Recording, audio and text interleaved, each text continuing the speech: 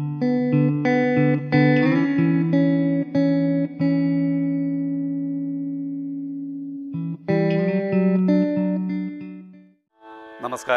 ഞാൻ എൻ ഉണ്ണികൃഷ്ണൻ.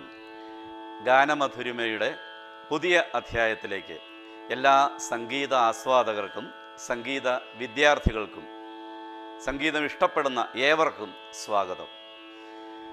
കഴിഞ്ഞ പ്രാവശ്യം നമ്മൾ സ്ഥായി എന്താണ് സ്ഥായി? അതാണ് മനസ്സിലാക്കിയത്. പാട്ട് പാടുന്ന ഒരാൾ അല്ലെങ്കിൽ ഒരു ഗായകൻ ത്രിസ്ഥായികളിലും തന്റെ ശബ്ദം കൊണ്ടുപോകാൻ ശീലിക്കണം. അപ്പോൾ മൂന്ന് സ്ഥായികളിലും ശബ്ദത്തെ വളരെ സുഗമമായി സഞ്ചരിപ്പിക്കാൻ ഉള്ള പ്രാക്ടീസാണ് നമ്മൾ നേടിക്കൊണ്ടിരിക്കുന്നത്. അതനുസരിച്ച് ഇന്ന് നമ്മൾ മധ്യസ്ഥായിലുള്ള ചില എക്സസൈസുകളാണ് പാടുന്നത്. മധ്യസ്ഥായി വരിശകൾ എന്നതിന് പറയാം. പല്ലവി വരിശകൾ എന്ന് മറ്റൊരു പേരും ഇതിനുണ്ട്. ഏതായാലും നമ്മൾ മധ്യസ്ഥായി വരിശകൾ പാടാം. ഈ എക്സസൈസ് അഞ്ച് എക്സസൈസുകളാണ് സാധാരണ പാടാറ്. നാല് താളവട്ടം വീതമുള്ള അഞ്ച് എക്സസൈസുകൾ അതായത് മൊത്തം ഇരുപത് താളവട്ടം.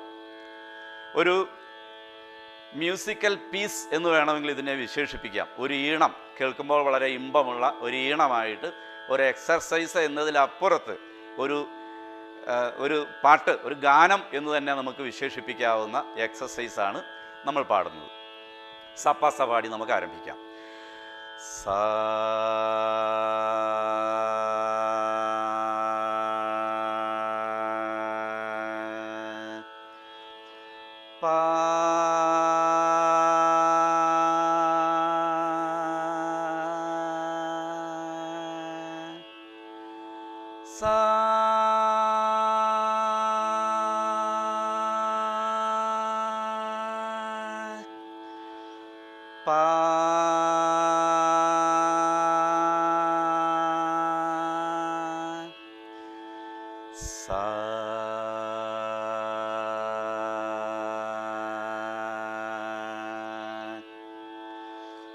പാടി നോക്കാം.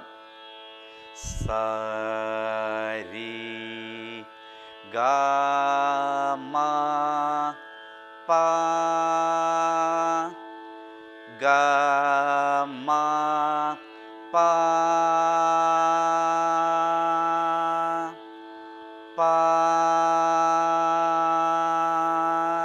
രണ്ട് താളവട്ടമാണ് നമ്മൾ പാടിയത്. രണ്ടാമത്തെ താളവട്ടത്തിൽ പ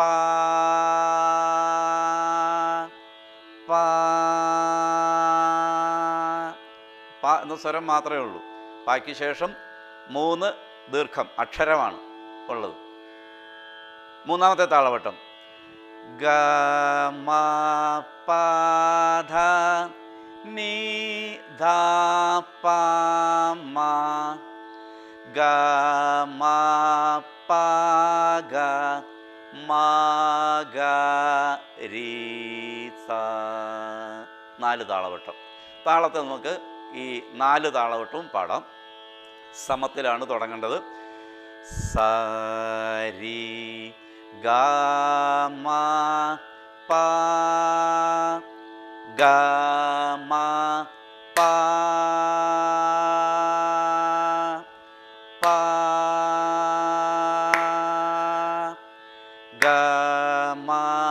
പ ധ പാമ ഗമ പാഗ മ ഗ മ പ ഗ മ ഗ രീ സ. ഒന്നുകൂടി പാടാം. സരി ഗ പാ പ ഗ മ പ പ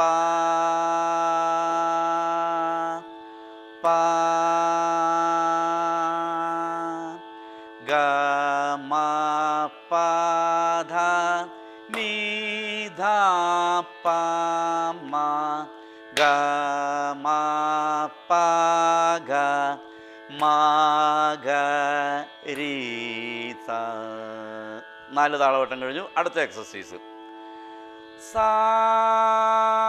സീധ നീ ധ പ ധ പാ മാ പാ പാ. രണ്ട് താളവട്ടം കഴിഞ്ഞു. ആദ്യത്തെ എക്സസൈസിൽ പാടിയ അതേ സ്വരങ്ങൾ തന്നെയാണ് രണ്ടാമത്തെ എക്സസൈസിൽ മൂന്നാമതും നാലാമതുമായിട്ട് വരുന്ന താളവട്ടം. ഗ മ പ ധ നീ ധ പ മ ഗ മ പ ഗ മ ഗ രി ത താളത്തിലൊന്ന് പാടി നോക്കാം. സാനിധ നീധാപ്പ താളത്തിൽ പാടും. സാ നീധ നീ ധാപ ധാ പ മ പ പ ഗ മ പ ധ നീ ധ പ മ ഗ മ പ ഗ മ ഗ രീ ത. രണ്ട് താളവട്ടവും കൂടി രണ്ട് എക്സസൈസും കൂടെ ചേർത്ത് ഒന്ന് പാടി നോക്കാം സരി ഗ മ പ ഗ മ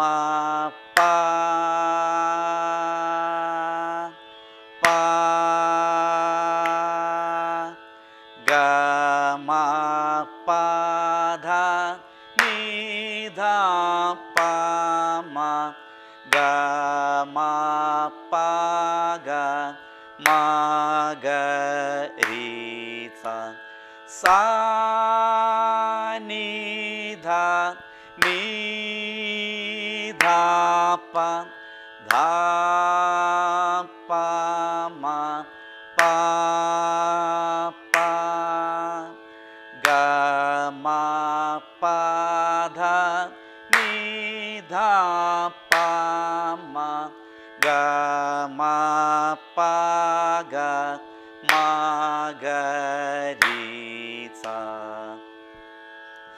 ഇടുമ്പോൾ ഒരു പ്രധാന കാര്യം ശ്രദ്ധിക്കുക. ഈ ശബ്ദം കേൾപ്പിച്ച് താളം ഇടുക. അടിച്ചിട്ട് വിരൽ എണ്ണുന്നതിന് നമ്മൾ ലഘു എന്നാണ് പേര് പറയുക. അപ്പം ലഘുവിന്റെ ഈ അടിക്കുന്ന ശബ്ദം കേൾക്കണം. നമ്മൾ പത്മാസനത്തിലിരുന്ന് തുടയിൽ താളമടിച്ചാണ് പാടേണ്ടത്. അപ്പോൾ തുടയിൽ ഇങ്ങനെ അടിക്കുമ്പോഴുള്ള ഈ ശബ്ദം കേൾക്കുക. അത് സശബ്ദ ക്രിയയാണ് ശബ്ദത്തോട് കൂടിയാകുമ്പോൾ ആ താളം ആ താളബോധം നമ്മളിലേക്ക് അങ്ങ് പതിയും മനസ്സിലേക്ക്. നിശബ്ദമായിട്ടല്ലാതെ ശബ്ദത്തിൽ അടിച്ച് തുടക്കത്തിൽ. അതിനുശേഷം താളബോധം നമ്മൾ ഉറച്ചു കഴിയുമ്പോൾ പിന്നെ നമുക്ക് സൗകര്യത്തിന് താളടിക്കാം. അപ്പം അത് ശ്രദ്ധിക്കുക. മൂന്നാമത്തെ എക്സസൈസ് ഇപ്പം നമ്മൾ പാടിയ സാനിധ നീധാപ്പ എന്നുള്ളത് പോലെ തന്നെ സസാനീധ നീനീധാപ്പ ആ എന്താ സ്പേസിൽ അതേ സ്വരം ഒന്നുകൂടി ഉപയോഗിച്ചു എന്ന് മാത്രമേ ഉള്ളൂ. പാടാം. സാ സാ നീ ധ നീ നീ ധാ പ ധാ ധാ പ മ പ പ ഗ മ പ ധ നീ ധാ പ മ ഗ മ പ ഗ മ ഗ രി സ മനസ്സിൽ ഓരോന്നിന്റെയും പാറ്റേൺ നിങ്ങളിങ്ങനെ ഓർമ്മിച്ച് പോവുകയാണെങ്കിൽ ബൈഹാർട്ട് ചെയ്യുന്ന ഒട്ടും വിഷമമല്ല. ഇപ്പം നമ്മൾ ആദ്യ രണ്ടാമത് പാടിയ എക്സസൈസിന്റെ ആ സ്പേസിൽ ആ സ്വരം ഒന്നുകൂടി ആവർത്തിച്ചിട്ടേ ഉള്ളൂ. നമുക്ക് താളത്തിലൊന്ന് പാടാം. ഇപ്പം മൂന്നാമതായി പാടിയ സസാനീധ എന്ന എക്സസൈസ് താളത്തിലൊന്ന് പാടുക. സാ സാ നീ നീ നീ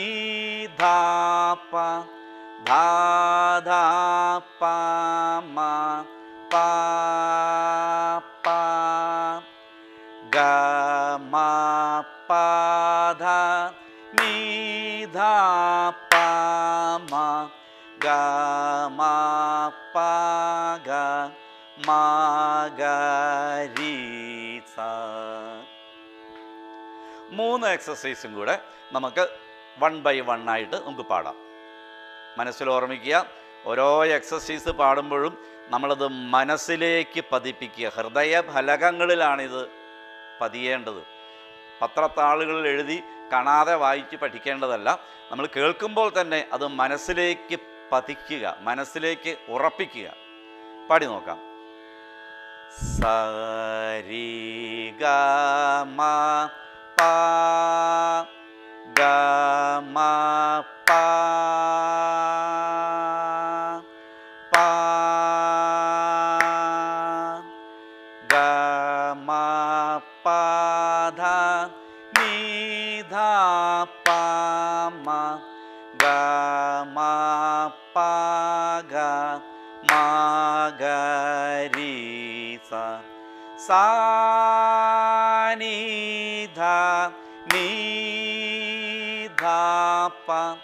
धा पा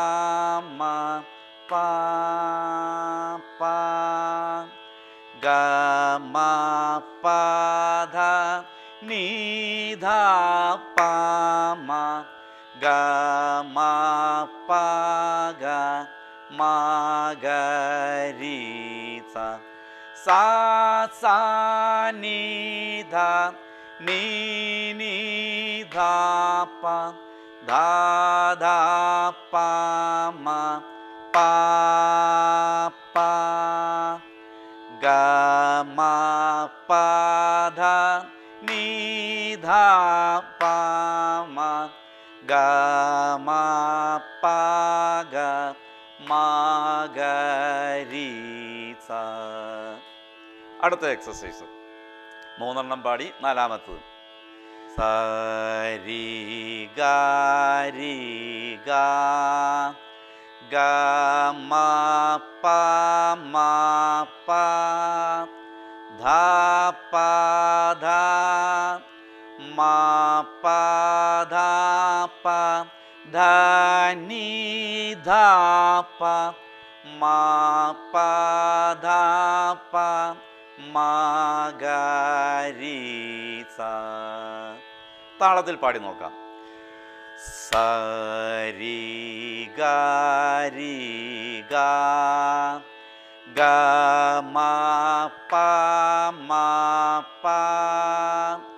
ധ ധ മ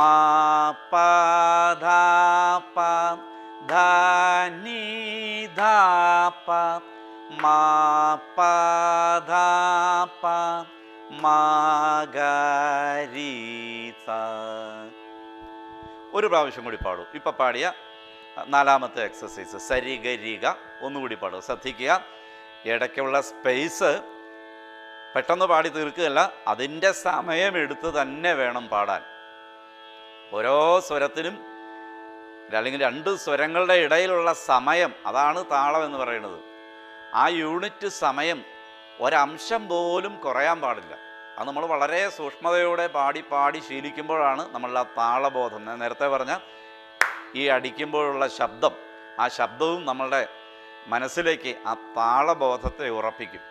അപ്പോൾ ഇപ്പോൾ പാടിയ എക്സസൈസ് താളത്തിൽ ഒരിക്കൽ കൂടി പാടാം. സരി ഗാരി ഗാ ഗ മ പ മ പ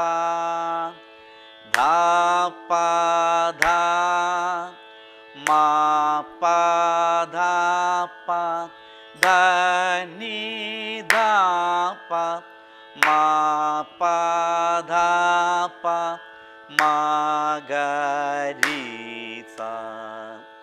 നാല് എക്സസൈസ് നമ്മൾ പാടി. ഓർമ്മയിൽ നിന്ന് എന്റെ കൂടെ ഈ നാല് എക്സസൈസും പാടുക. നിങ്ങൾ തന്നെ ആലോചിച്ച് നോക്കുക. നിങ്ങൾക്ക് പാടാൻ പറ്റുന്നുണ്ടോ എന്ന് ആലോചിക്കുക. പാടി നോക്കാം. ആദ്യം മുതൽ सरि गीधा गा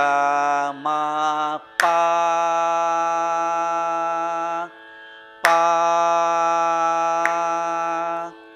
गा पाधा निधा पामा गामा पा गा मा गरी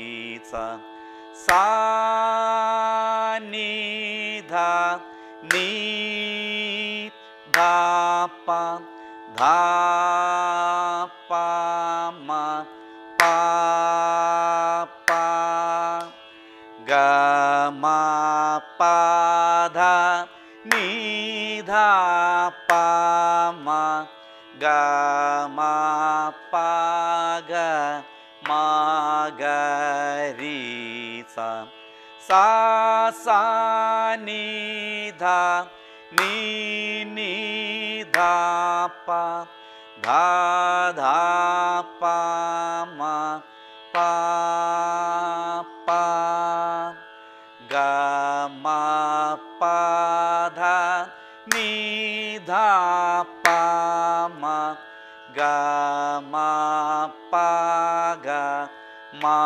गी सा सरि गारी गा गा पा पा पाधा मा प धा प ध नी धा पा पधा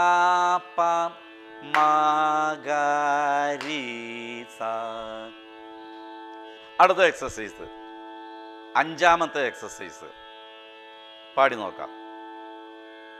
ആദ്യം ഒന്ന് പാടി തരാം. സരി ഗ മ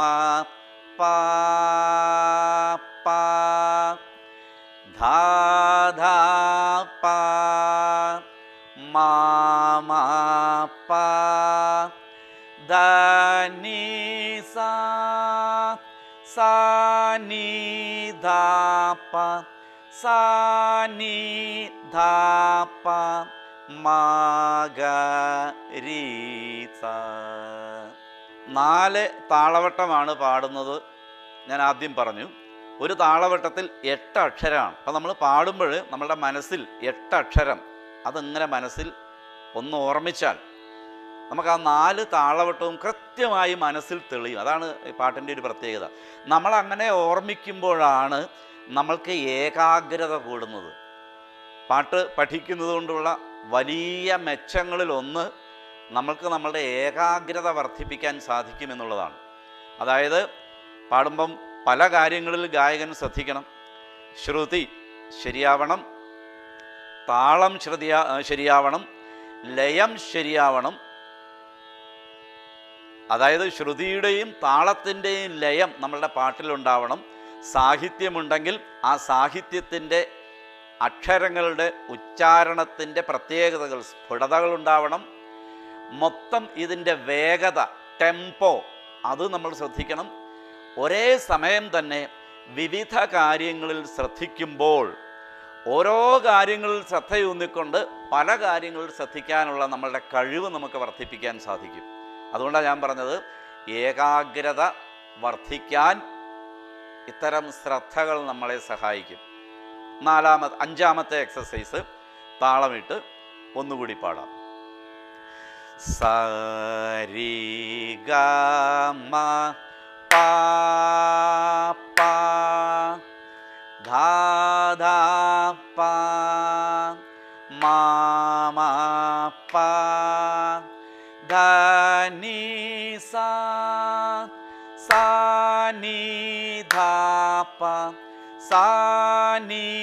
ധ പ മ ഗ രി സ അപ്പോൾ ഈ മ്യൂസിക്കൽ പീസ് ആദ്യം മുതൽ അവസാനം വരെ താളമിട്ട് എന്റെ കൂടെ പാടുക. സരി ഗ മ പ ഗ മ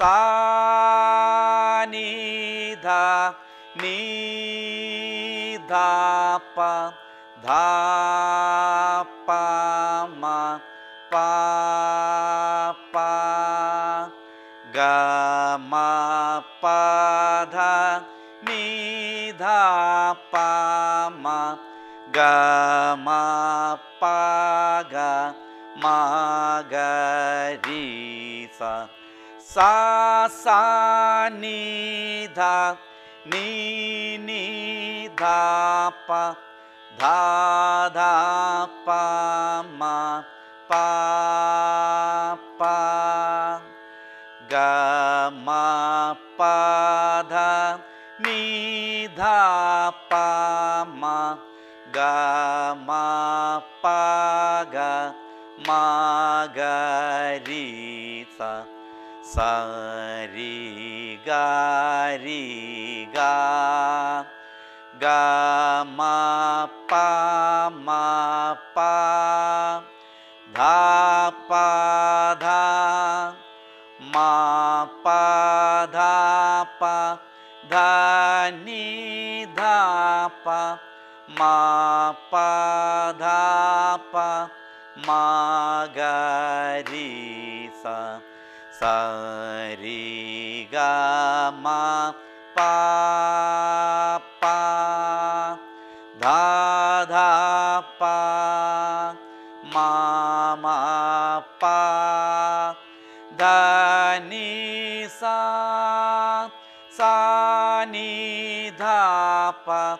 സ രി ഗ മ പ പ ഒന്നാം കാലമാണ് നമ്മളിപ്പോൾ പാടിയത്. ഈ അഞ്ച് എക്സസൈസുകളും ഈ മധ്യസ്ഥായി വരിശകൾ അഞ്ചും സാധാരണ മൂന്ന് കാലങ്ങളിലാണ് പാടി ശീലിക്കാറ്. നമ്മൾ സപ്തസ്വരം നാല് കാലങ്ങളിലാണ് പാടി ശീലിക്കേണ്ടത്. പിന്നീട് സരളി വരിശകൾ തുടങ്ങിയുള്ള എക്സസൈസുകൾ അലങ്കാരം എന്ന് പറയുന്ന എക്സസൈസുകൾ വരെ മൂന്ന് കാലത്തിലാണ് സാധാരണ പാടുക. പിന്നെ അത് രണ്ട് കാലത്തിലേക്ക് മാറും. നമ്മൾ എത്രത്തോളം ഇത് ഉൾക്കൊള്ളുന്നുവോ അതനുസരിച്ച് നമ്മളുടെ പാഠക്രമങ്ങളിലും മാറ്റങ്ങൾ വരാം. ചില കുട്ടികൾ ചിലർക്ക് വളരെ പെട്ടെന്ന് ഒന്നും രണ്ടും കാലങ്ങൾ പാടാൻ സാധിക്കും. ചിലരെ വളരെ ശ്രദ്ധയോടുകൂടി ഇപ്പോഴും നിങ്ങൾ സപ്തസ്വരങ്ങൾ പാടി ശീലിക്കണം. സപ്തസ്വരങ്ങൾ അഥവാ മായാമാളവ ഗൗള രാഗത്തിന്റെ സ്കെയിൽ ആണ് നമ്മൾ പാടുന്നത്. രാഗഭാവത്തോടു കൂടി അതായത് ഗമകത്തോടു കൂടി അത് നമുക്ക് പാടേണ്ടതുണ്ട്. അപ്പോൾ സ്വരസ്ഥാനം ഉറച്ചു കഴിഞ്ഞാലാണ് നമുക്ക് ആ ഗമകം വളരെ വൃത്തിയായിട്ട് പാടാൻ സാധിക്കുക. അതുകൊണ്ട് സപ്തസ്വരങ്ങളുടെ പ്രാക്ടീസ് യാതൊരു കാരണവശാലും നിർത്താൻ പാടില്ല. എന്നും പ്രാക്ടീസ് ചെയ്തുകൊണ്ടിരിക്കുക. സംഗീതം അങ്ങനെ ആ മഹത്തായ കല പാട്ട് പാടുക എന്നതുകൊണ്ട് പാട്ട് പഠിക്കുക എന്നതുകൊണ്ട് ആ മഹത്തായ കല പഠിക്കുക എന്ന് മാത്രമല്ല ജീവിതത്തിൽ ഒരു വ്യക്തി എന്ന നിലയിൽ നമുക്ക് പല പല ഗുണങ്ങളും നേടിയെടുക്കാൻ സംഗീത പഠനം സഹായിക്കും. അതുകൂടിയാണ് പാട്ട് പഠനത്തിന്റെ ഒരു ലക്ഷ്യം എന്ന് നിങ്ങൾ ഓർമ്മിക്കുക. കൂടുതൽ കൂടുതൽ പാഠഭാഗങ്ങൾ ചിലവർക്ക് ബുദ്ധിമുട്ടുണ്ടാക്കുന്നുണ്ട് എന്നൊരറിയിപ്പ് അല്ലെങ്കിൽ ചിലർ വിളിച്ചു പറഞ്ഞു. കൂടുതൽ പാഠങ്ങളാകുമ്പോൾ ഒരാഴ്ച കൊണ്ട് പ്രാക്ടീസ് ചെയ്യാൻ വിഷമമുണ്ടെന്ന്. ഞാൻ നേരത്തെ പറഞ്ഞു ഒരാഴ്ച കൊണ്ടോ രണ്ടാഴ്ച കൊണ്ടോ പ്രാക്ടീസ് ചെയ്ത് പാടാവുന്നതല്ല. അതുകൊണ്ട് പ്രാക്ടീസ് ചെയ്തുകൊണ്ടേയിരിക്കുക. എക്സസൈസുകളുടെ എണ്ണം പരമാവധി കുറച്ച് ഞാൻ നിങ്ങൾക്ക് നിങ്ങളുടെ മുമ്പിൽ അവതരിപ്പിക്കാം. ഈ മധ്യസ്ഥായി വരിശകളുടെ രണ്ടും മൂന്നും കാലം നമുക്ക് അടുത്ത ഒരു അധ്യായത്തിൽ പാടാം. ഓർമ്മിക്കുക സാധകമാണ് നമ്മളെ നല്ല പാട്ടുകാരനാക്കി മാറ്റുന്നത്. ജന്മസിദ്ധമായ ഒരു വാസനയെ പരിപോഷിപ്പിക്കുകയാണ് നമ്മൾ ചെയ്തുകൊണ്ടിരിക്കുന്നത്. അതിനെ നല്ല കഠിനാധ്വാനം തന്നെ വേണം. കഠിനാധ്വാനം ചെയ്യാൻ തയ്യാറുള്ളവർക്ക് നല്ല പാട്ടുകാരാവാം. എല്ലാവർക്കും കഠിനാധ്വാനത്തിൽ അല്ലെങ്കിൽ അങ്ങനെ ഒരു അധ്വാനം ചെയ്യാനുള്ള സന്മനസ്സുണ്ടാവട്ടെ എന്ന് ആത്മാർത്ഥമായി ആഗ്രഹിച്ചുകൊണ്ട് ഇന്ന് ഞാൻ വിടവാങ്ങുന്നു. എൻ ഉണ്ണികൃഷ്ണൻ ഗാനമധുരിമ. നമസ്കാരം.